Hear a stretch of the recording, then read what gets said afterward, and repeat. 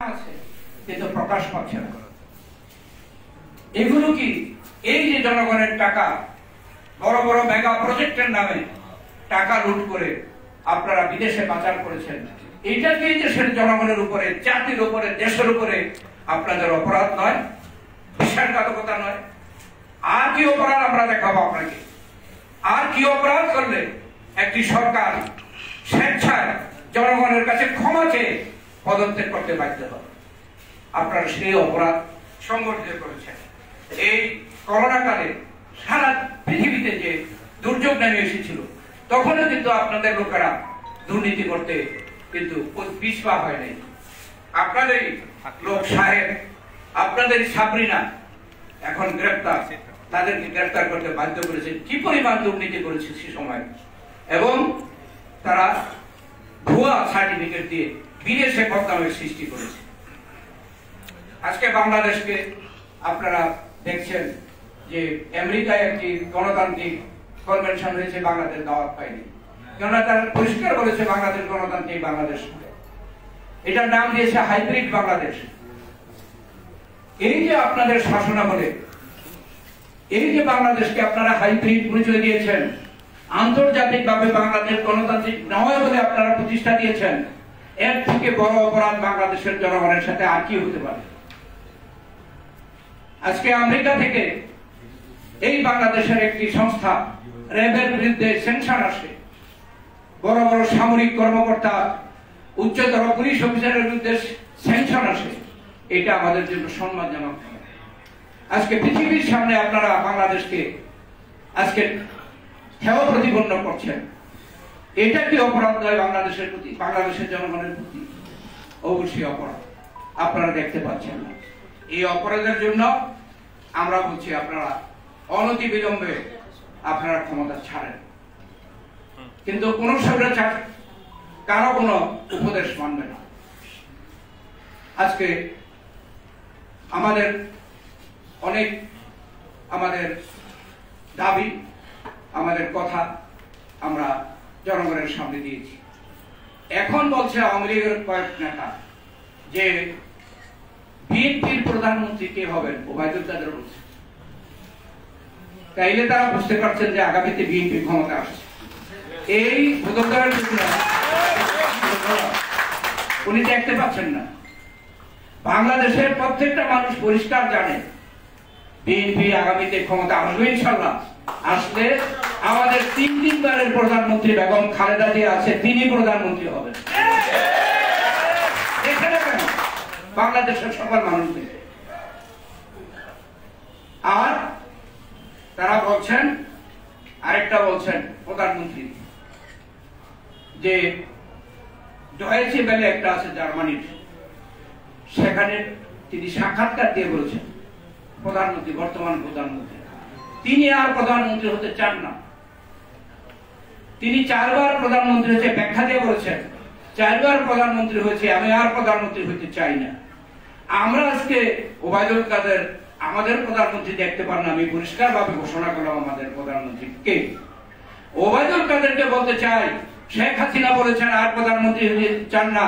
আওয়ামী লীগ, ওবায়দুল কাদের বলেন, আপনারা যদি এইবারে না পারেন, আর দশ বছর পরে আসেন, কে আপনাদের প্রধানমন্ত্রী? এবার তো স্বপ্ন বাদ দেন। সব ধরনের বুদ্ধি, সব ধরনের কুবুদ্ধি আপনারা ব্যবহার করে ফেলছেন। আর কোন কুবুদ্ধি কাজে দিবে না এই তারপরে বলছেন, আমরা কি করতে চাই? কি বলতে চাই তারা নাকি বুঝেন না। আমি যদি না বুঝেন, আমি আজকে পরিষ্কার বলতে চাই। আমরা বলেছি, শেখ হাসিনার অধীনে নির্বাচনে আমরা যাব না। আমরা নই, এখন সারা বাংলাদেশের মানুষ বলছে যাবে না। দল বলছে, বিভিন্ন দল বলছে যাবে না। এটা পরিষ্কার। আমরা কি বসে থাকব? অবশ্যই না। আমরা বলছি যে এই সরকারকে হটাবো। এই সরকারকে যদি তারা তাদের বোধোদয় না হয়, তাহলে তাদেরকে হটাবো। হটানোর জন্য রাজপথে একমাত্র বিকল্প এটা আমরা ঘোষণা করেছি। আমাদের ভারপ্রাপ্ত চেয়ারম্যান বলেছে, ফয়সালা হবে রাজপথে। আমাদের বলা বাকি কি থাকবে? আওয়ামী লীগটাকে বুঝতে পারেন না আমরা কি চাই। আমরা ফয়সালা চাই, এই সরকারকে হটাবো। এই সরকারকে হটিয়ে সংসদ ভাঙতে বাধ্য করে, তারপরে নির্দলীয় সরকার প্রতিষ্ঠা করে, এদেশে একটি সুষ্ঠু, নিরপেক্ষ অংশগ্রহণ অংশগ্রহণমূলক নির্বা- নির্বাচন করব। এটা আমরা চাই। এটার মধ্যে কোথাও তো কোনো লুকাচুরি নেই। কোথাও লুকাচুরি নেই। তাই তারা বুঝবেন না কেন?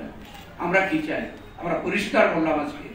এই সরকারকে হটিয়ে, এই সংসদ বাতিল করে একটি নির্দলীয় নিরপেক্ষ সরকারের অধীনে, নির্বাচনকারী সরকারের অধীনে সুষ্ঠু, নিরপেক্ষ অংশগ্রহণ নির্বাচন করতে চায় পরিষ্কার। এখন বলা এখন এখন প্রশ্ন হবে যে কোন এই স্বৈরাচার সরকার এমনি আপসে কি ছেড়ে দিবে? আমরা পরামর্শ এখনও দিই। আপনি শ্রীলঙ্কার দিকে তাকান। এখনও আপনাদের শুভবুদ্ধের উদয় হোক, স্বেচ্ছায় পদত্যাগ করেন এবং সংসদ বাতিল করেন এবং একটি নির্দলীয় নিরপেক্ষ সরকার প্রতিষ্ঠার রাস্তা পরিষ্কার করে দেন, তাহলে হয়তো জনগণ আপনাদের উপরে দয়াও করতে পারে। আমরা জানি না জনগণ আপনাদের দয়াও করতে পারে। ওই যে জান আব্দুল ফারুক সাহেব বললেন যে ডাবল কাপড় দিয়ে প্যান্ট ছিলানোর দরকার নাও হতে পারে। কিন্তু আমাদের পরামর্শ শুনবে না। চোরে শোনে না ধর্মের কাহিনী। শুনে তো না। এই শ্রীলঙ্কা দেখার পরেও কিন্তু বোধোদয় হবে না। আর খুব বড় বড় করে বলছেন এই দেশে শ্রীলঙ্কা হবে না। আরে শ্রীলঙ্কা তো রেকর্ড নাই। এই বাংলাদেশে যখন পাকিস্তান আমরা ছিলাম, পাকিস্তানের সময় কিন্তু আয়ুব খানকে আয়ুব খানের মতো শক্তিধর ব্যক্তিকে এদেশের জনগণ, ছাত্র জনতা রাজপথে আন্দোলন করে তাদেরকে নামতে বাধ্য করেছে। এই বাংলাদেশে হোসেন মোহাম্মদের শেষের স্বৈরাচারতে দেশনেত্রী বেগম খালেদা জিয়ার আপসীর নেতৃত্বে আন্দোলন করে রাস্তায় সংগ্রাম করে গণ অভ্যুত্থান করে তাদেরকে নামতে বাধ্য করেছে। করে না সেই দিন মাত্র শ্রীলঙ্কা এই ধরনের উদাহরণ সৃষ্টি করল। আমরা তো এর আগেই করেছি। অতএব বড় বড় কথা বলে লাভ হবে যে এই দেশে এটা হবে না। যদি আপনারা এখন ছেড়ে না দেন, এদেশের মানুষের কাছে ক্ষমা না চান, পার্লামেন্ট বাতিল না করেন, তাহলে তো দেশের মানুষকে রাস্তায় নেমেই পড়তে হবে। আমাদের অতীতের রেকর্ড আছে মাঝে দিয়ে আমরা মুক্তিযুদ্ধ করে স্বাধীন করেছি, সেটার রেকর্ড আছে। এদেশের জনগণ পারে অতীতে প্রমাণ করেছে ইনশাল্লাহ পারবে। আর রাস্তায় যদি সেই ফয়সলা হয়, আর তারপরে যদি শ্রীলঙ্কার মতো অবস্থা হয়, এটার জন্য দায় দায়িত্ব আমরা কেউ নেব না। এই দায় দায়িত্ব এই সরকারকে নিতে হবে। জেনে শুনে যদি আপনারা দেশকে শ্রীলঙ্কার দিকে ঠেলে দেন, তার জন্য দায় দায়িত্ব আপনাদেরকে নিতে হবে। আজকে আমি এই আলোচনার সর্বশেষ বলতে চাই যে আমাদের কথা পরিষ্কার। শেখ হাসিনার অধীনে নির্বাচন হবে না। নির্বাচনে আমরা যাব না। এই দেশের মানুষ আর করতে দিবে না। আর প্রতারণা সম্ভব নয়। একবার করতে পারে মানুষ, ফাঁকে দিতে পারে, ধোকা দিতে পারে, বারবার ধোকা দিতে পারে না। আর পারবেন না। আমরা আহ্বান জানাব এই দেশের গণতান্ত্রিক, দেশপ্রেমিক সকল জনগণ, গোষ্ঠী এবং দলকে আজকে ঐক্যবদ্ধ হতে হবে। আজকে ঐক্যবদ্ধ হবে, রাস্তায় আমাদের ফয়সলা করতে হবে। তার জন্য আপনাদের সকলের প্রস্তুতি গ্রহণের আহ্বান জানিয়ে আমি আপনাদেরকে ধন্যবাদ জানিয়ে আমার বক্তব্য জিন্দাবাদ। গণতন্ত্র জিন্দাবাদ।